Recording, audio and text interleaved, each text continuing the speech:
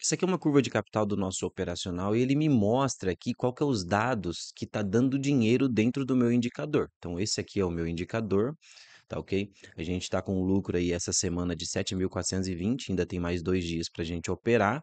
Então, quando ele me mostra as configurações, eu vou lá e olho qual que está performando legal, né? Então, faço uma otimização, faço um teste de robustez ali e tal. Ó, então, ele está me mostrando aqui, ó, no Time de M1, a configuração 3 para entrada, a configuração 4 para confirmação dessa entrada e a saída no fechamento do candle da confirmação 3. O que, que isso quer dizer? Nada mais nada menos do que isso aqui. Ó. A gente junta dois gráficos, tá vendo? Ó? Aí eu vou abrir aqui, ó, tá vendo? Ó? Sinalização, confirmação. Então, o período 3. Então, eu vou lá e coloco o período 3 na confirmação, e aí eu vou lá e coloco o período é, é, de saída, o período 4, e o fechamento do candle anterior, de acordo com o que ele me mostrou e me deu resultado com essa curva de capital. E aí, quando você vê aqui, tá tendo uns stopzinho, tá vendo? Mas olha esse stop, ó. Se eu parar para analisar, vou pegar aqui. Levou um stop no dia 2 do 1, 1 do 2.